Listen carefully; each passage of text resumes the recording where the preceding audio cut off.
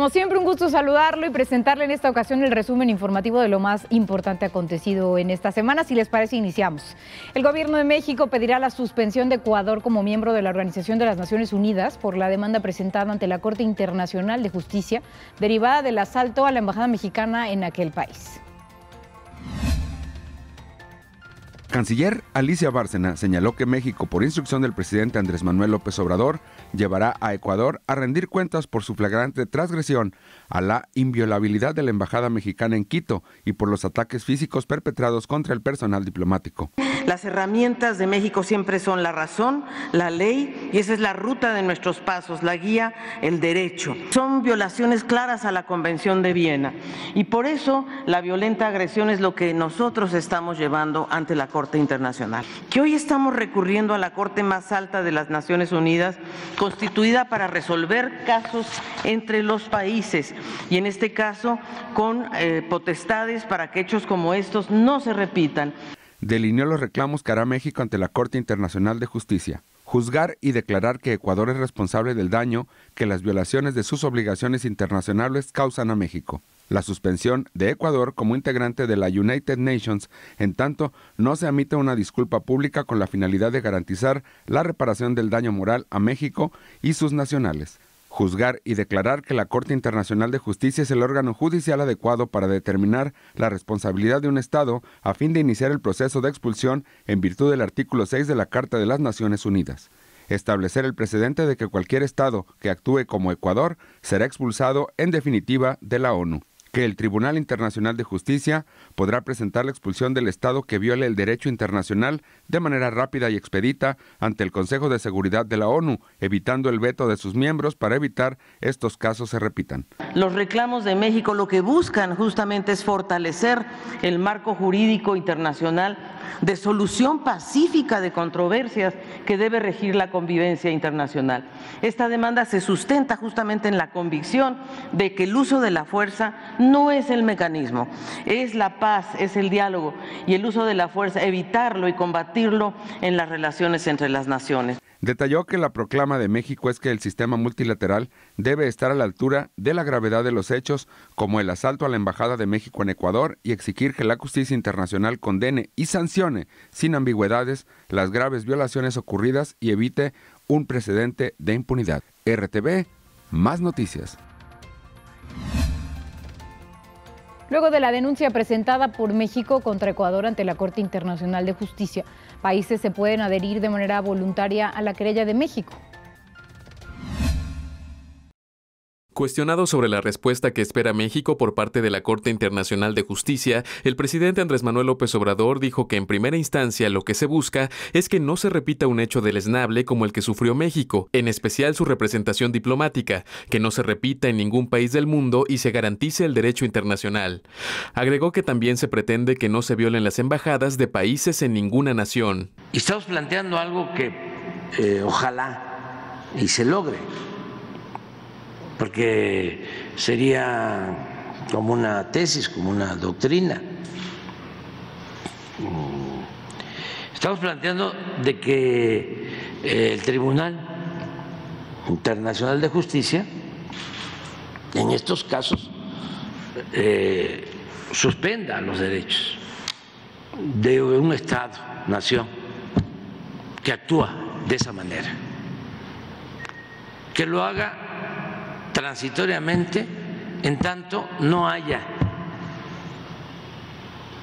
una disculpa pública, un compromiso de no repetición y la reparación de los daños.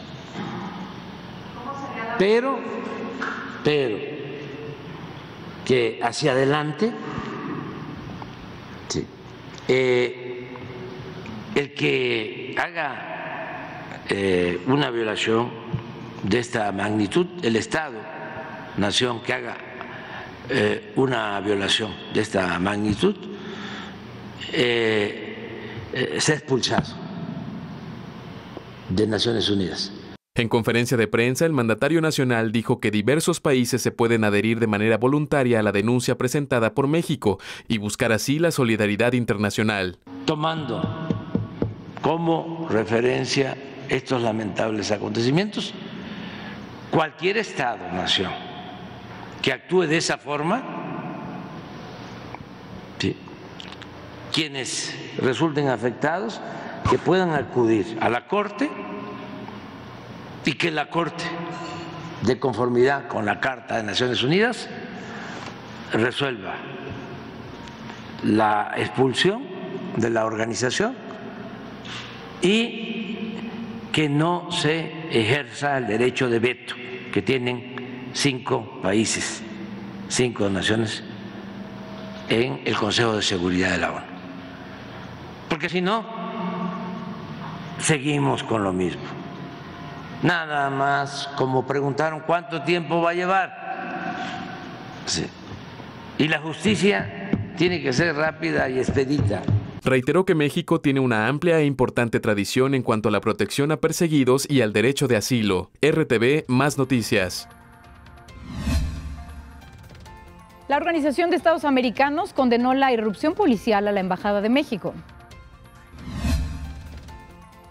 El secretario general de la Organización de los Estados Americanos, Luis Almagro, señaló que no se admitirá que quede como precedente lo sucedido en Quito el pasado 5 de abril y detalló que la irrupción de la policía ecuatoriana en la Embajada de México afecta gravemente los principios del ordenamiento jurídico internacional. Añadió que no hay duda de que las acciones emprendidas por las autoridades ecuatorianas contra la sede diplomática de México afectan gravemente los principios fundamentales del ordenamiento jurídico internacional avalados por la OEA.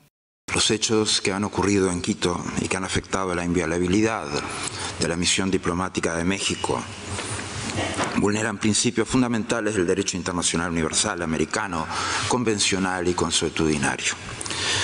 Hace apenas dos años, el Comité Jurídico Interamericano solicitó a la Asamblea General de la OEA declaraba que la norma sobre la inviolabilidad de los locales diplomáticos no admite ningún tipo de excepción y que los eventuales abusos a la norma sobre inviolabilidad de los locales de la misión diplomática en situaciones relativas a la concesión de asilo diplomático deben ser resueltos recurriendo exclusivamente a las medidas previstas por el derecho diplomático. Lamentablemente, nada de eso ocurrió el 6 de abril. En 2012, a pedido de Ecuador, que había amenazado su sede diplomática en Londres, la reunión de consultas de ministros de Relaciones Exteriores de la OEA afirmó la vigencia plena del pleno respeto de la inviolabilidad de los locales de las misiones diplomáticas. Rechazó cualquier intento que ponga en riesgo la inviolabilidad de los locales de las misiones diplomáticas y reiteró la obligación que tienen todos los estados de no invocar normas de derecho interno para justificar el incumplimiento de sus obligaciones internacionales. Luis Almagro, secretario general de la Organización de los Estados Americanos, reiteró la obligación que tienen todos los estados en el cumplimiento de sus obligaciones internacionales. Sergio Naranjo, RTV, más noticias. El gobernador Cuitlagua García Jiménez condenó las acciones de policías ecuatorianos en la embajada mexicana. Las gobernadoras y gobernadores de la 4T, mediante un desplegado, mostraron su apoyo al presidente Andrés Manuel López Obrador en su decisión de suspender las relaciones diplomáticas con el gobierno de Ecuador ante la invasión de la embajada en Quito, explicó el mandatario veracruzano Cuitlagua García Jiménez. Gobernadores de la gran mayoría de los estados que conformamos la República Mexicana respecto a la violación de la soberanía que lamentablemente tuvimos en la Embajada de México radicada en Ecuador. Eh, la postura es conocida, eh, fue eh, consensado con todos los integrantes de esta de México, de los estados que gobernamos, porque consideramos inédito esta grave violación a la soberanía de México. García Jiménez dijo consideran grave la violación a la soberanía de México. Asimismo, agradeció las expresiones internacionales de solidaridad. Porque no había pasado ni en las situaciones más complejas que entre países ha llegado a suceder. por ejemplo, en Latinoamérica, en los golpes de Estado, cuando han sucedido en Sudamérica, ni siquiera Pinochet se atrevió a violentar las embajadas donde varios chilenos pidieron refugio. Ha habido conflictos, guerras, conflictos armados y se respetan las embajadas. Lamentó que el gobierno actual de Ecuador, encabezado por Daniel Novoa, haya realizado esta acción. Nora Hernández, RTV, más noticias. El gobierno de México agradeció a los 23 estados que se sumaron al programa IMSS Bienestar.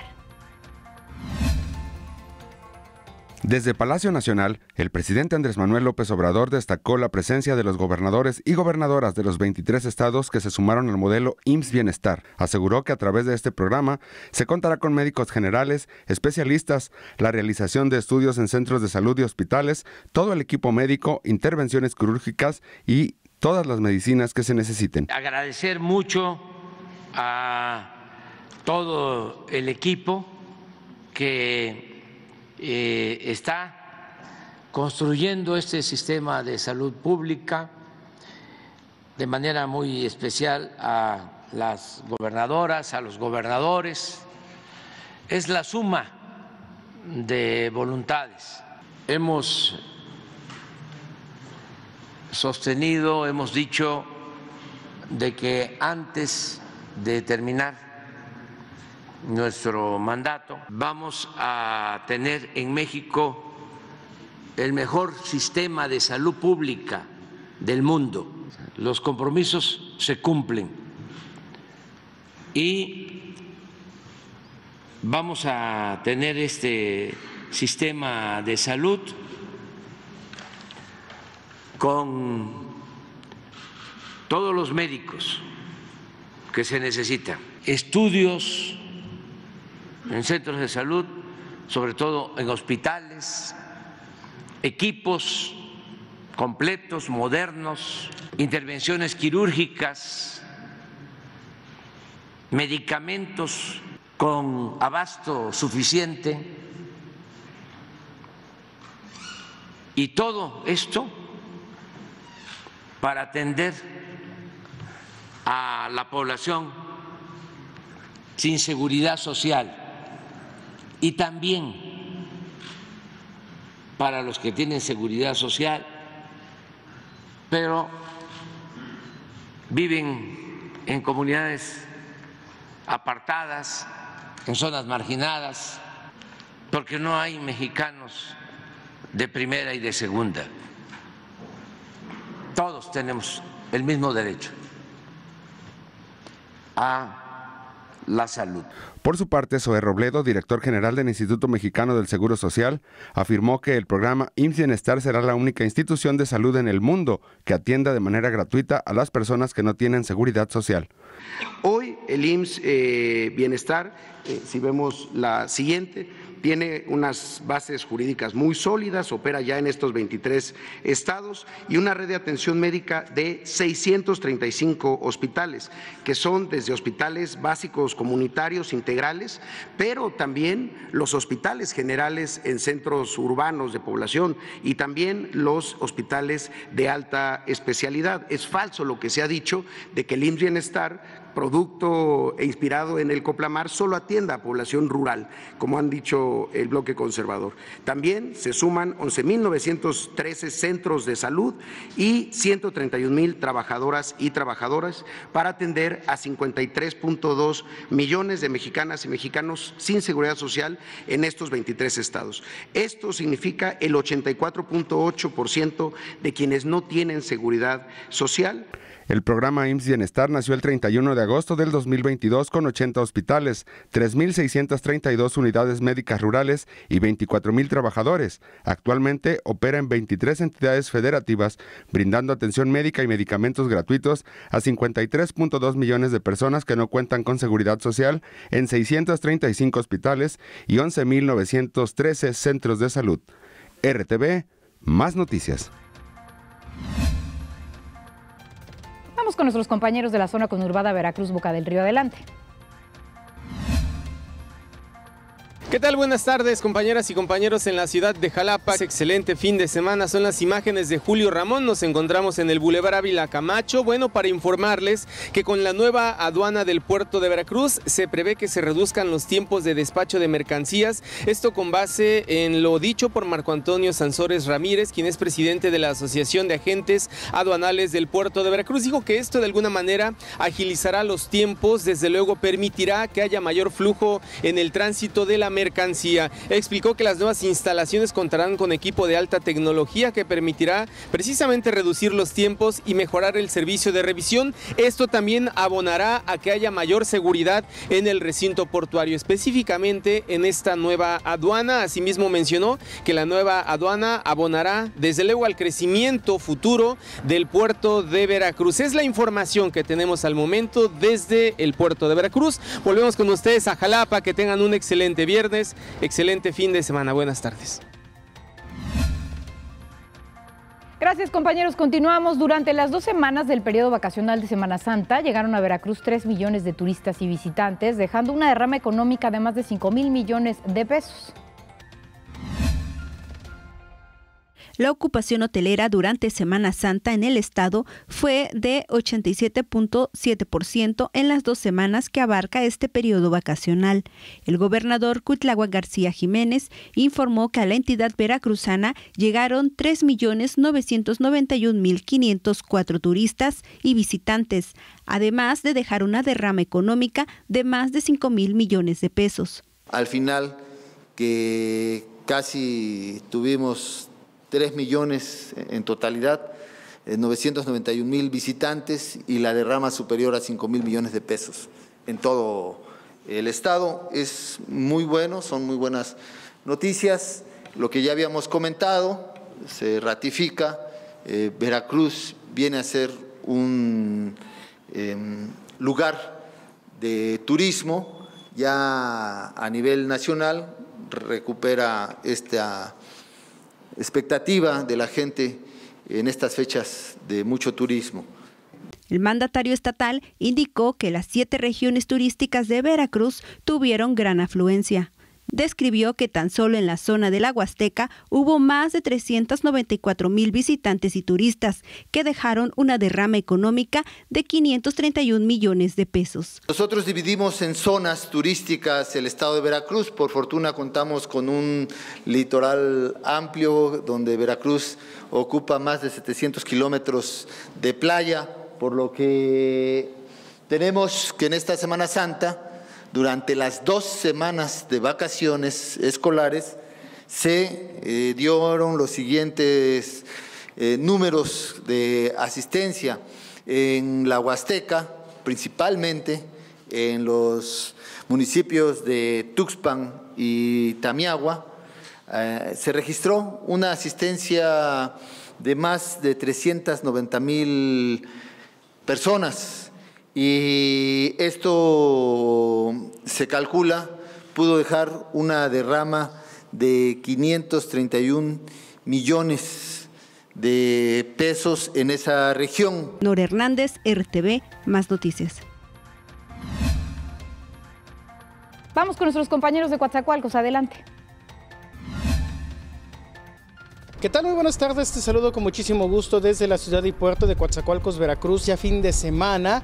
Bueno, darles a conocer que, bueno, pues sí, ya nos encontramos en plena temporada de altas temperaturas, las cuales se esperan pues continúen hasta el mes de junio, cuando ya empiecen a registrarse las lluvias.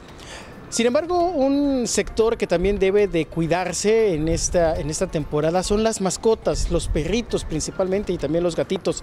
Es por ello que, bueno, pues especialistas, veterinarios y también autoridades, bueno, pues han emitido una serie de recomendaciones para evitar lo que es eh, eh, golpes de calor en las mascotas. ¿Cuáles son estas recomendaciones? Bueno, pues principalmente tener siempre agua fresca a la mascotita, al perrito o al gatito. También procurar tenerle un espacio fresco y con suficiente sombra y es que lamentablemente se ha visto que algunos dueños bueno pues los tienen incluso en las azoteas en pleno sol sufriendo eh, de los rayos del sol también consultar con un eh, médico veterinario respecto al pelaje de la mascota, ya que algunos necesitan corte y otros no. Y finalmente evitar salir a pasear en horas más sofocantes del día como en la mañana esto justamente pues para evitar los golpes de calor. Así que ahí están estas recomendaciones, estas sugerencias que emiten las autoridades para evitar los golpes de calor a las mascotas. En dado caso que se registre, llévelo inmediatamente al veterinario para que se pueda eh, hidratar, se pueda recuperar y bueno, pues tomar esas medidas preventivas para poder para poder salvar la vida de nuestra mascotita y sobre todo que no sufra los golpes de calor. Son imágenes de mi compañero Jorge Ataxia. Con esto regreso contigo al estudio, a la capital del estado, al Cerro de la Galaxia. Que tengan todos ustedes una excelente tarde, excelente fin de semana. Gracias compañeros. Continuamos. Algunos turistas de la playa Villa del Mar de la ciudad de Veracruz los tomó por sorpresa el eclipse solar.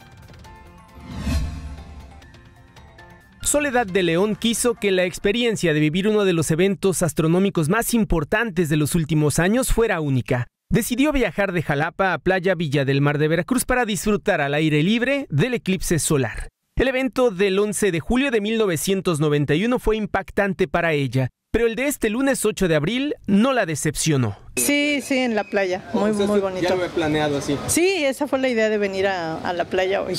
Y vemos que se compró hasta sus lentes, ¿verdad? Sí, ya, todo, todo bien planeado, claro, sí, para evitar. hasta dentro de 28 años. Pues ya nunca sabemos si nos va a tocar, pero este estuvo muy, muy lindo. A las 11 de la mañana comenzó el espectáculo. La Tierra, la Luna y el Sol comenzaron a alinearse. Las cámaras de más noticias captaron el momento.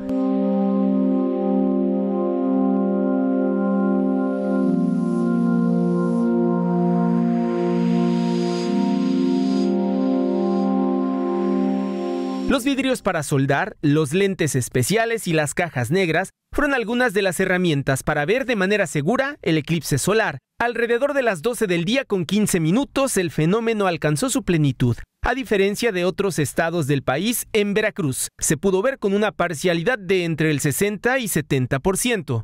Un día normal, disfrutando con la familia, nada más. O sea, no, por eso bueno, no, no, no, ni nos percatamos, de verdad. ¿Ni se acordó? No, la verdad no. No nos obscureció. Oiga, ¿y en el de 1991? Ah, ese sí. ¿Dónde estaba usted? ¿Qué andaba usted haciendo? Uy, andaba en Tepozotlán. Entonces comenzaron las comparaciones con el eclipse de 1991. En el de 1991. No, pues yo todavía no nací. ¿No no, todavía no. Sí, totalmente, se vio, se, vio todo oscuro. Y en esta ocasión, pues... No se ve, ahorita no se ve nada. Todo normal. El próximo eclipse solar volverá a ocurrir hasta el 30 de marzo de 2052, es decir, dentro de 28 años. Carlos Navarrete, RTV, más noticias. Antes de despedirnos, quiero invitarlo a que nos siga a través de nuestras distintas redes sociales, en Facebook y en X, antes Twitter. Nos encuentra como Más Noticias. También visite nuestro portal informativo, másnoticias.mx, en donde podrá consultar la información minuto a minuto sobre lo que acontece en Veracruz, México y el mundo. Como siempre, un placer. Gracias. Hasta la próxima.